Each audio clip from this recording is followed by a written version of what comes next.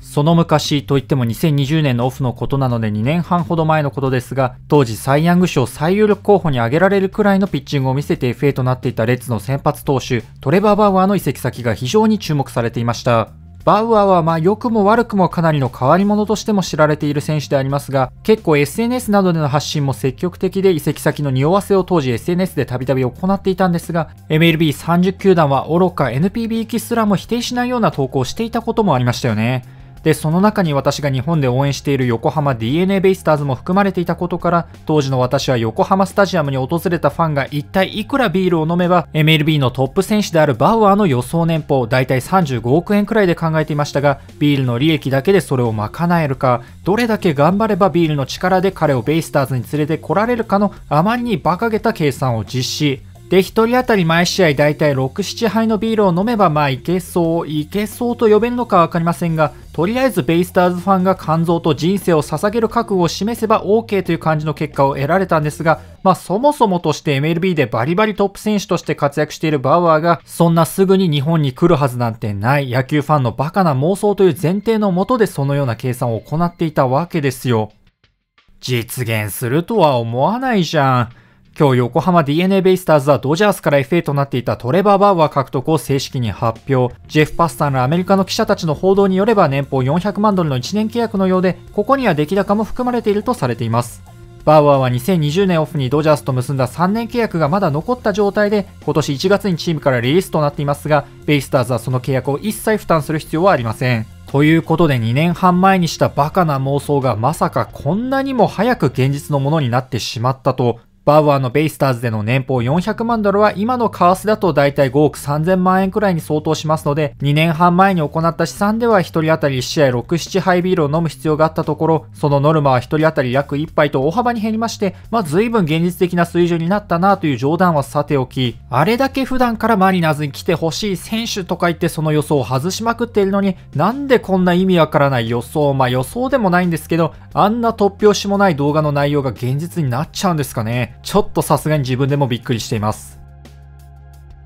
バウアーといえばほんの数年前まで MLB 屈指の好投手として活躍していた選手ですよね。UCLA から2011年ドラフト全体3位指名を受けるなど、プロ入り当時から期待されていたバウアーは、本人も認めるところでありますが、決してアスリートとして恵まれた体つきではないものの、最先端の技術やトレーニングを積極的に取り入れ、その甲斐もあってインディアンス時代の2018年に本格的にブレイク。2020年はその集大成のようなシーズンとなりまして、コロナの影響で短縮シーズンだったのが残念でしたが、この年11先発で防御率1.7 7-3、ベースボールレファレンス3スのウィンザボリプレイスメントで3.0を記録し、見事サイ・ヤング賞を受賞しました。直後のオフに彼は FA となりましたが、FA 史上最注目選手としてその去就が注目されたところ、世界一となったばかりのロサンゼルスドジャースが彼と3年総額1億200万ドルの大型契約を締結。当時は世界一のチームにサイ・ヤング賞投手が加入しちゃダメでしょうなんて思った記憶もありますね。そのような選手ですから投げるボールも一級品のバウアー、平均94マイルくらいの速球にカッター、スライダー、ナックルカーブ、シンカー、チェンジアップと非常に多彩な球種を操りながら打者を翻弄することができ、またバウアーは MLB でもトップクラスにスピンをかけることが上手い選手でもありましたね。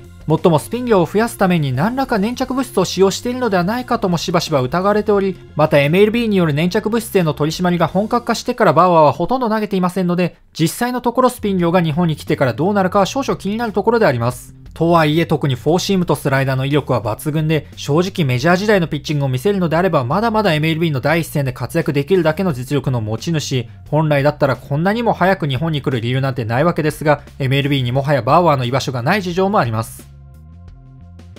それが彼のフィールド外の問題ですね。ドジャース時代の2021年6月にバウアーが女性に対して暴行を振るったのではないかという疑惑が浮上し、その調査のため MLB は1年近くバウアーを休職扱いとし、その間は全く出場できず、結局のところその暴行疑惑についてバウアーが法的に責任を問われることはなかったんですが、MLB の DV 規定に基づく独自の処分によって、昨年4月にバウアーは324試合の出場停止、レギュラーシーズン2年分の出場停止という前例のない極めて異例な処分を受けることとなりました。MLB の DV 規定違反では史上最長の処分であり、ここにはバウアーがたびたびリーグ側に対して挑戦的な態度ですとか、対応を取ってきたことによる見せしめも含まれているのではないかとも言われてきましたが、バウアー側の異議申し立てによって昨年12月にこれが194試合にまで減らされ、今季開幕からの出場がルール上は可能となっていました。とはいえそれはあくまでルール上の話であって、本件以外にも問題行為が非常に多いバウアーを獲得することによるリスクを嫌った MLB 全球団は、彼がドジャースから FA となって MLB の最低年俸でも獲得可能になったにもかかわらず、獲得に動くチームはとうとう現れることなくアピールの場を求めて日本にやってきた感じでしょうか。という経緯で3年前のサイ・ヤング賞経験者が日本に来る運びになったと思いますが、しかしまさか本当に来日、それもベイスターズに来るとは思いませんでしたよ。いくら法的な責任を問われていないとはいえ、パブリックイメージも大事なエンタメ業界、プロ野球の世界でバウアーのように DV 規定で出場停止を食らった選手を獲得するのにはリスクを伴いますし、しかもベイスターズは12球団で唯一女性オーナーのチーム、女性ファン獲得に向けたプロモーションにも積極的で、かつそれが成功している部類のチームだと思いますので、そのチームがバウアーを獲得したのはやはりなかなか大きなリスクを背負ったなとは思います。もちろん戦力面で見ればサイ・ヤング賞経験者が先発陣に加わってプラスにならないわけがなく、特に大貫選手が肉離れで離脱となっている状況で、優勝候補と呼ぶには少し物足りなさもある今のベイスターズを大きく押し上げる補強だと思いつつも、やはり最初のようなリスクは気になるのかなと、まあ、ベイスターズフロントもそのあたりは承知の上のようですし、入手できる情報は全て検討しての獲得みたいですので、十分リスクはコントロールできるという判断なんだとは思いますが、あと気になるとしたらサイ・ヤング賞を取った時の姿にどれだけバウアーが戻れるかですよね。長い出場停止期間の影響で最後に公式戦のマウンドに立ったのが2021年6月、2年近く実戦から離れているのがまず1点。加えて、まあ、バウアーならさほど問題にはならないかもしれませんが、異国の地での生活ですとか、MLB とは異なるボールへのアジャストなど対応すべきことも多く、そしてシーズン開幕までもあまり時間もないと、チームにちゃんと馴染めるのか、というかコーチやスタッフ陣がバウアーを制御できるのかという課題もあるでしょうし、サイ・ヤング賞経験者がチームに加わるインパクトはありながらも、結構ハードルも多いなという印象も受けます。1年契約とはいえ多分調整の兼ね合いも考えると本格的にチームに貢献できるようになるのは早くても5月とか6月になりそうですし、バウアーがその後チームの期待通りのパフォーマンスを発揮できればいいんですがどうでしょうか？